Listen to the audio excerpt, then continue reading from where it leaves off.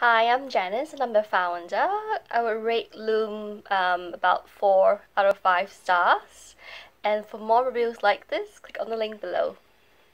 So I use Loom for a screen recording um, function and I also use the real-time chat and real-time editing tool as well. It's really helpful when you want to communicate with your team members and you want to use a video to accompany what you wanted to showcase or demonstrate. That's really helpful.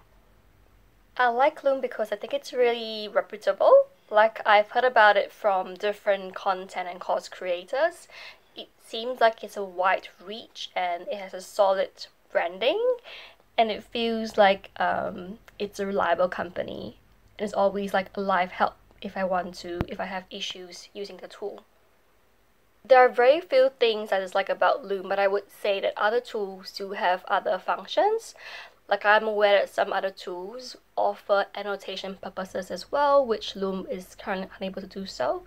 But I think Loom is generally a really good tool if you're looking for um, a screen recording tool that offers um, the ability to work as a team, to collaborate as a team. It's really helpful that way.